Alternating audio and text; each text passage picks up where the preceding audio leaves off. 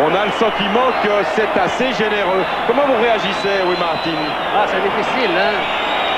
C'est très difficile de voir que la Suisse aura son premier... Ouais, on revoit le ralenti. Regardez, Tafarel tient la balle dans les mains.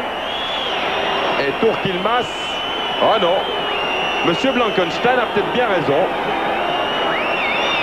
Alors, Pierre oui, Roger. Oui, je me trouve à côté d'un expert, Monsieur Blattmann, qui est là, euh, l'arbitre euh, FIFA, l'arbitre suisse FIFA. Est-ce que, est que vous trouvez justifié ce penalty? Euh, Je pense que c'est correct, mais attention de, de, d'écrire le... Euh, je, je n'ai pas euh, vu de ici exactement. Euh, je pensais que c'est correct? Pas, euh, très bas. Hein. Ah bien, voilà.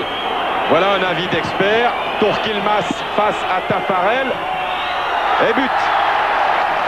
Alors, c'est un événement.